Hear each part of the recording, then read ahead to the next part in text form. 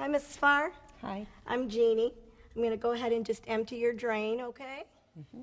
To manage a wound drainage system, first determine the type of system in use, the number of drain tubes in place, and the expected drainage from each one. Okay.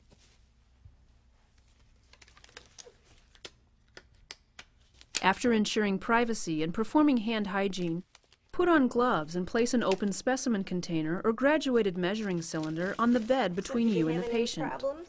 No. Good. To empty a Hemovac, VacuDrain, or Constavac, open the plug on the port used for emptying the drainage reservoir.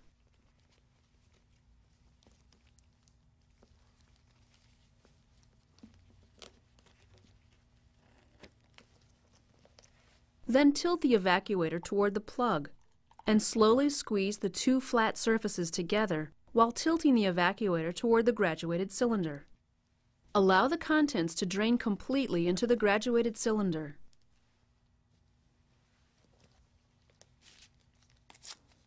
Cleanse the port and plug with an alcohol swab.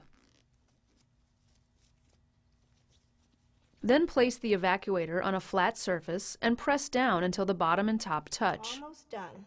Hold the bottom and top together with your non-dominant hand and replace the plug with your dominant hand. Good now. Now make sure the evacuator is working properly.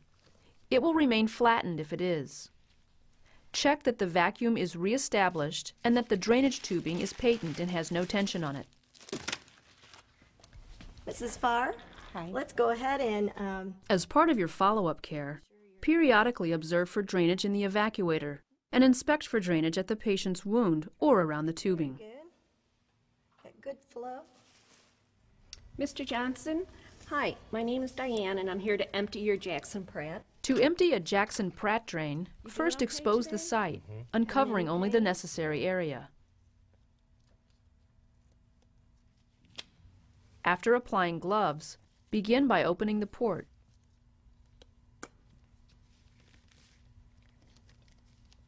Tilt the drainage toward the opened port, allowing the drainage to empty into a measuring cup.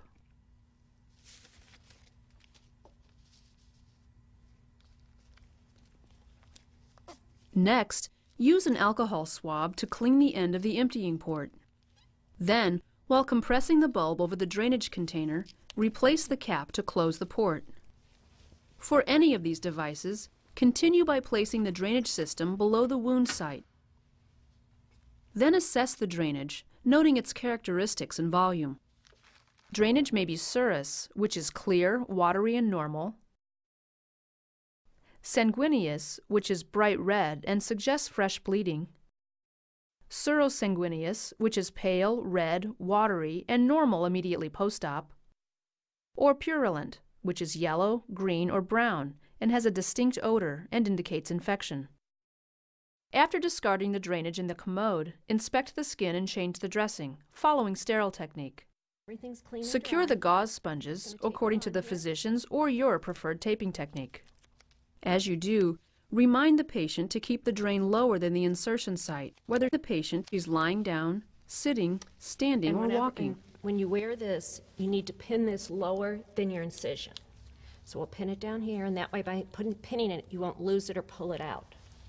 Before removing a drain, make sure that the patient's physician and your agency support this nursing action. Mrs. Sean, we're going to go ahead and take your drain out now, okay? First, I'm going to empty it, though. To remove a Hemovac, Jackson Pratt, or Penrose drain, remove and discard the dressings around the drain, as shown in the video skill, Changing a Dressing.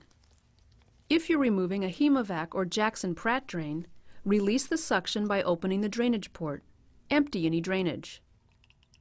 Make sure a disposable drape has been placed next to the insertion site so you can place the drain on it after removal. Tell the patient that she may feel discomfort and a pulling sensation as the drain is removed. Is all, but not bad, okay? I'm going to have you take a nice deep breath. Okay. Go ahead. If the patient has a suture, clip and remove it. Then grasp the drain and remove it gently and quickly. All done. Wow. Yeah. Not too Hold the gauze in place over the wound when removing the drain to prevent inadvertent spraying of drainage. Immediately after drain removal, for a minute. use the dressing to remove any remaining drainage around the wound or drain insertion site.